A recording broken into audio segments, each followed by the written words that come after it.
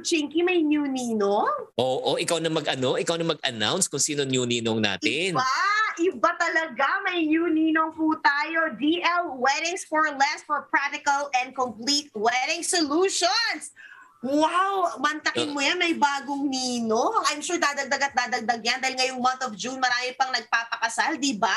So marami talagang mababasbasan si DL Weddings for Less. Kaya naman, ano no, ang ating mga bagong ninong at ninang sa mag-budget tayo ay nagpapakilala sila ang DL Weddings for Less. Ay, alam nyo ba, as low as 10,000 pesos, pwede na kayo magpakasal na hindi kayo nai-stress. O, di ba? 1,000? G's meal. O, di ba? Tapos, Wait lang, I'm mind blown. Paano yung 10,000? ay, eto nga eh, hindi lang yan ha. Meron pang ano to, reception for 50 people.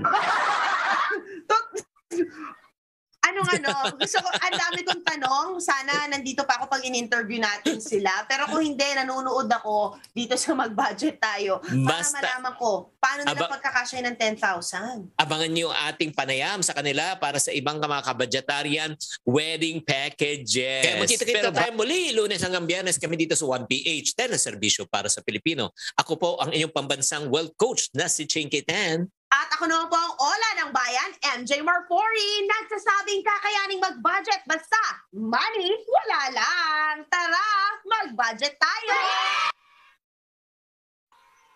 Na na na na na na na na na na